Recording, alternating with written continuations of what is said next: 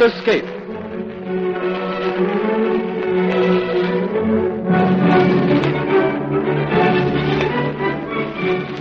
This is the story of Robert Bruce, his escapes from personal peril, and the heroic escape of Scotland from English rule.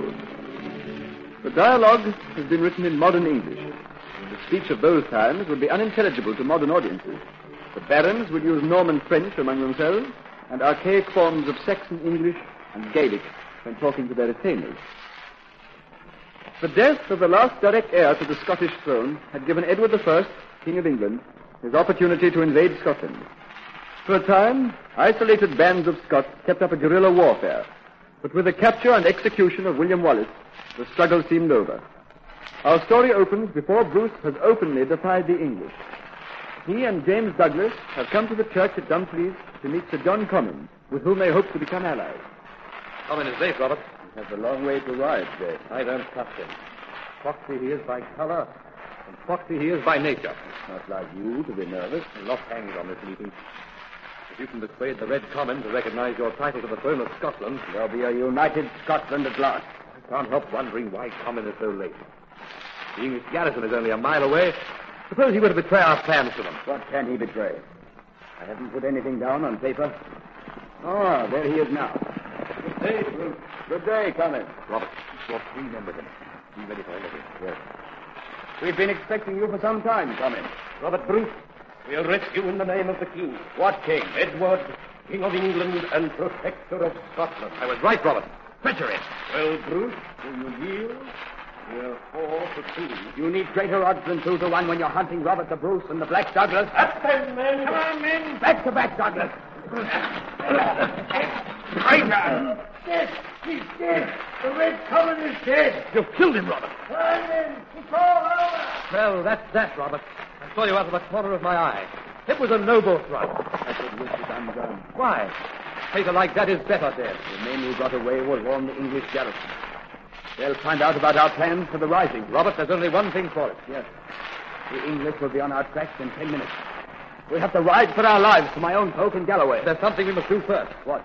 If you go straight to Galloway, you'll be just another fugitive, like William Wallace. You'll never be able to rally the whole country to your support. You mean... Yes, Robert.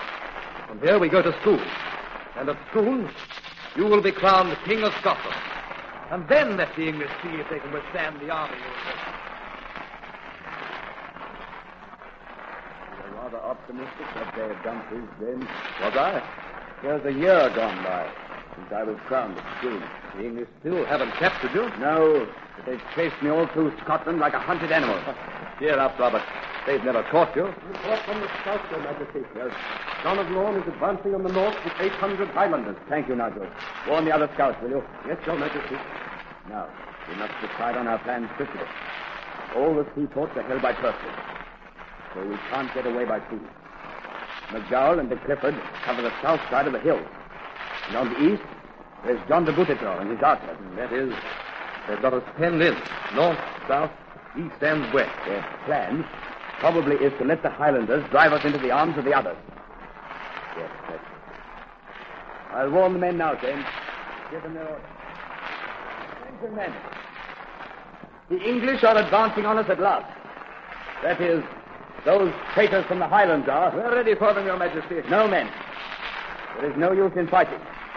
There are 800 of them and only 50 of us. We'll kill a few of them before they finish us. If we're killed, the cause of Scottish independence is doomed. It is our duty to preserve our lives. While we live, there is still hope for Scotland. Here, here to that. We must separate. Each man for himself. But, Your Majesty, won't they concentrate on catching you? I'm dressed just the same as the rest of you. They won't be able to recognize me at 200 yards. Well, men, the plan is this. We wait until they arrive in sight. Then we split up. Let them see us making for the south. Then as soon as each of you is out of sight, hidden in the trees or down in the glen, he starts to circle to the north. Once you're through the Highlanders, you'll be safe. We meet at our old hiding place near Pinwelly. Is that clear? Oh, there, Your Majesty. The Highlanders are in sight, and they have bloodhounds with them. Two bloodhounds won't be much use for catching 50 of us. All right, men, be off with you. And good luck. Good luck, Your Majesty. Well, James, aren't you going? We haven't been separated this last year, Robert. And I'm going to stay with you now. All right, James. Come on. We've got to run for our lives. Come on, Robert. One last effort and we'll shake them off. Here, what's the matter? One, one of their arrows hit me in the leg. It's bleeding badly. Put your arm around my shoulders.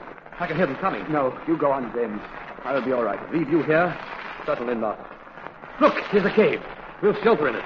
If they look in the cave, we'll be trapped. I don't think they'll see it. The entrance is very small. Anyway, it's our only chance. Come on, I'll go in first. There's not much room inside here, Robert. No. We won't be able to swing our swords if they do find it. It looks as though this is the end of things, James. We've lost every battle we fought. Our men are dispersed. and-. That's a busy little spider. The spider? Spider webs make me feel sick. I just managed to avoid it as we came in. Now the spider's closing up the gap. See how she throws the web across? Oh, she's missed. I hear voices, Robert. We were just in time. It's the Highlander. Have your sword ready. Oh, they couldn't have done it here. They'd have broken the spider's web. Go on, then. Robert, we're saved by a Spider. And what's more, James, you notice how determined that spider was? He kept on trying to fix the web, no matter how often it fell down. If that's what you mean. She tried twice. And twice she failed. But she wasn't daunted. And the third time she succeeded. Well, I'm not going to let myself be beaten by a spider, James. I don't care how many times I fail. I'm going to fight on until either I'm dead or Scotland is free.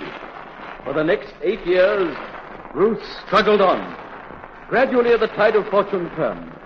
But there still remained the task of recapturing Castle Stirling. And Castle Stirling was thought to be almost impregnable. James, I want you to take a herald and a flag of truce and ask de Mowbray to come to the wall. Yes, Robert. Tell him that if he surrenders, we'll give him and all his men safe conduct back to England. That's a generous offer, Robert. Stirling Castle is so strong that I doubt whether we can ever capture it by direct attack. All right, Robert. I'll go at once. Sir James Douglas, receive the commander of Stirling Castle. I want you to surrender, Sir Mowbray. There's been enough blood spilled on both sides, Mowbray. If you surrender, you and your men will have safe conduct back to England.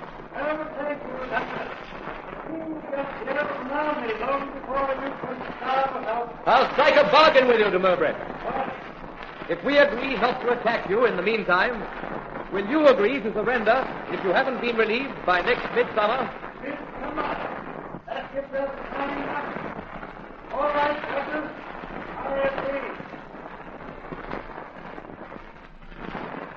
I've seen Mowbray, and I have an inspiration.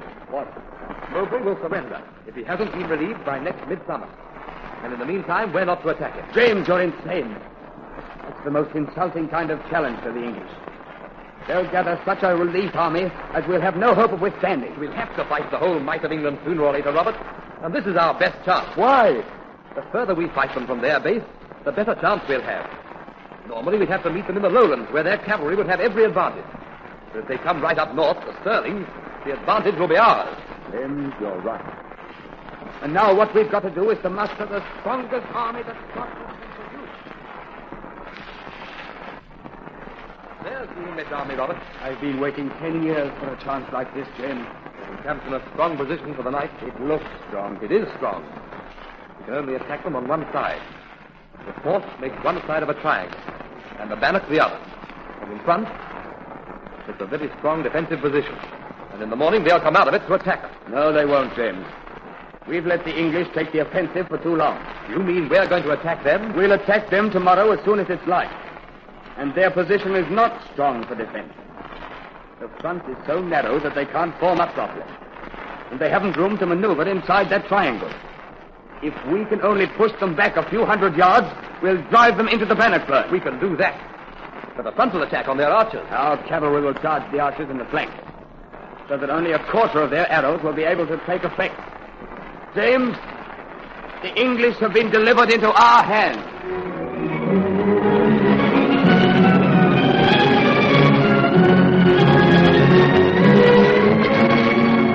The rest is history. Robert Bruce's plans were carried out exactly as he described them to Douglas. And in the Battle of Bannockburn, the English suffered one of the most severe defeats that has ever fallen to the lot of an English army. The war still dragged on for a few years, but after Bannockburn, it was apparent that there could be only one end. Eventually, peace was made, and England recognized the independence of Scotland. Bruce ascended the throne, one of the greatest kings that any country has ever known.